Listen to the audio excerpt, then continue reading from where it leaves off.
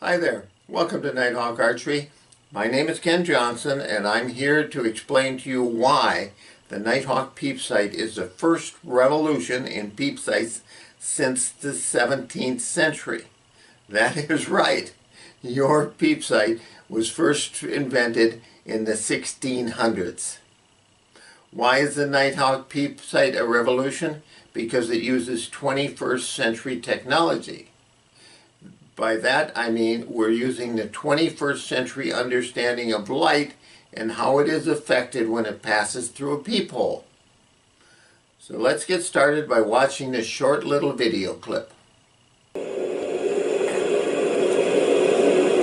This is a fantastic video in that what it shows is the sun coming above the horizon. Now for our purposes, we know that this being the horizon, this is the edge. This is the edge of the earth. There's the sun coming up, and you notice the light being pulled from the sun to the earth, and we get these little legs. Notice too that when it's pulled, it is pulled perpendicular to the edge, which is the horizon. Now we know the sun is round, so the only thing that this can be is a distortion of the sun. As the sun keeps rising, the diffraction is going to diminish. And as soon as the sun gets far enough above the horizon, the diffraction will end.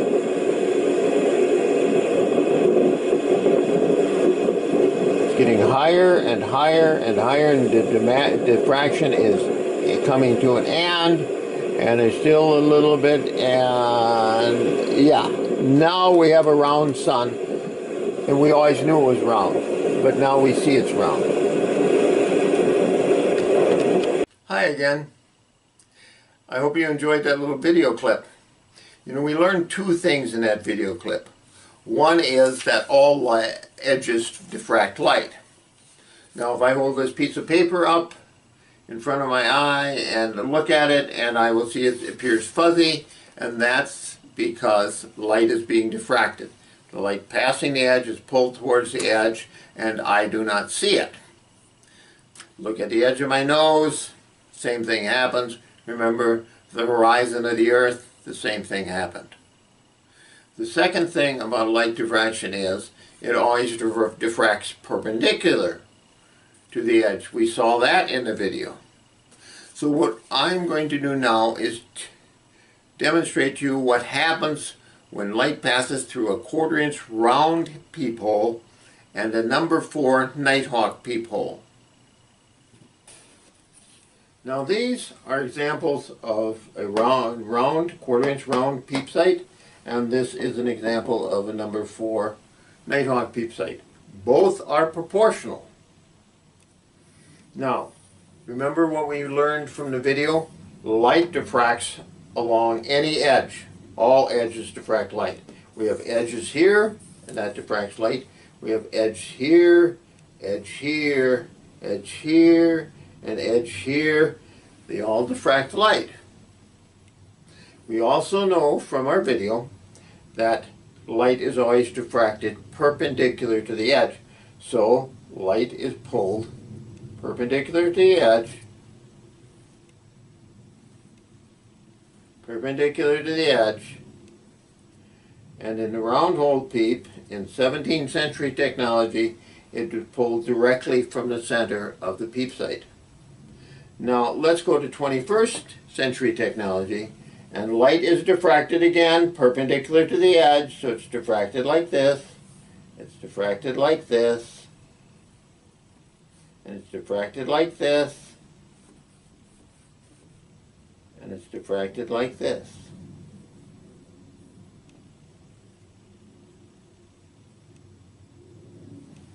Both are diffracted perpendicular to the edge. Now notice the difference. Here the diffraction is drawn, drawing light from the center of the peephole. Here the diffraction is only in the slots it cannot go beyond the slots because there's no edge. for it to diffract. 17th century technology, 21st century technology. So the, this peep is dependent on light diffraction. This peep is not. This one is always clear no matter what happens with light, and this one is not.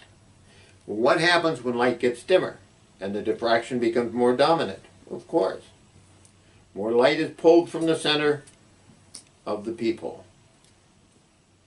And pretty soon enough light is pulled from the center of the peephole that you will not be able to see through it. But what happens here? The diffraction increases, right? As light gets dimmer, the diffraction increases. But what happens?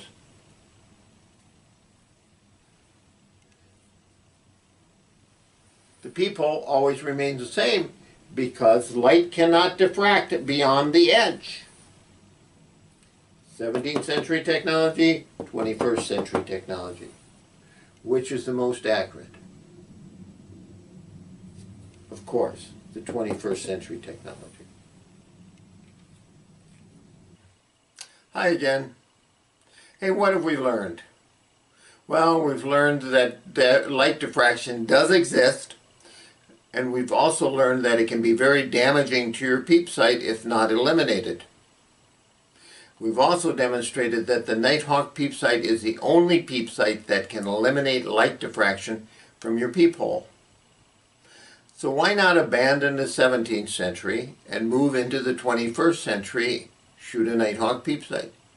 You'll gain accuracy, you'll improve your hunting, and you'll shoot higher scores. And that's all guaranteed. It's guaranteed not only by Nighthawk, but it's also guaranteed by the science that's behind the peep sight. There's no way you can lose. So I thank you very much for your time, and may God bless us all.